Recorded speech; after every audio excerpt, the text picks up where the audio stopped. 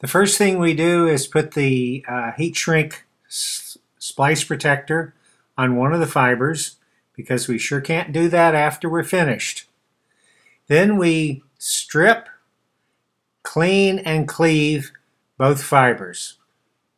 We'll strip first, stripping so that we leave enough bare fiber for the cleaver. Then we'll clean the fiber, place it in the cleaver, following the instructions for the cleaver type that we're using.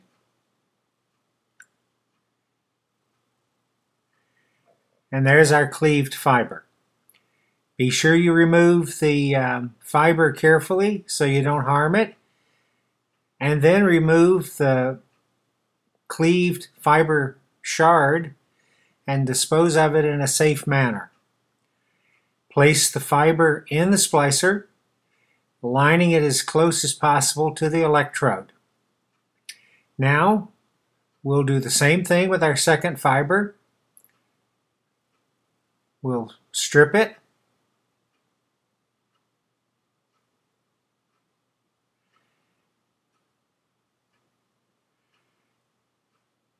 clean it.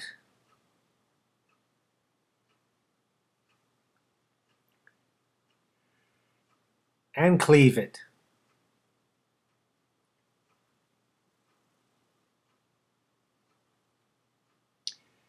Again, we'll be careful to remove and discard the fiber shard left. Place the second fiber in the fusion splicer aligning it carefully with the electrodes. Clamp it in.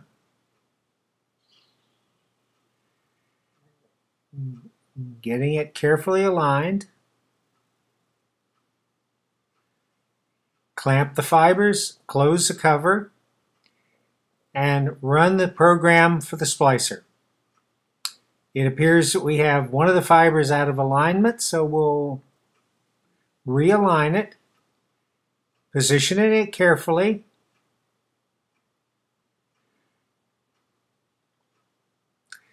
Now we'll run the program again.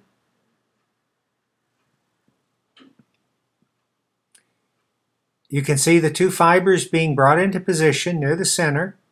It will pre-fuse the fiber to remove dust and heat them up and then push them together and fuse them. When the screen goes white, that's the fusion arc.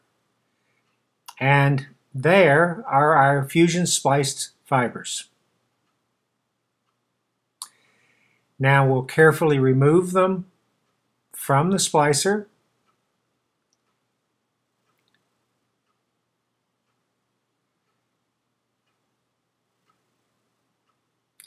Making certain that we don't damage them but that fusion splice is as strong as the fiber itself.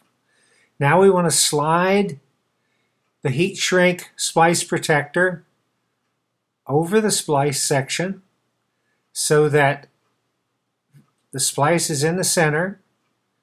Place it in the heater module on the splicer.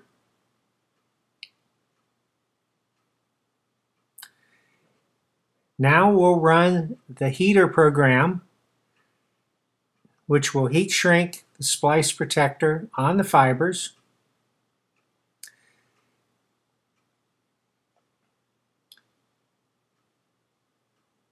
Give it time to let the heat shrink do its job. And there is our completed splice.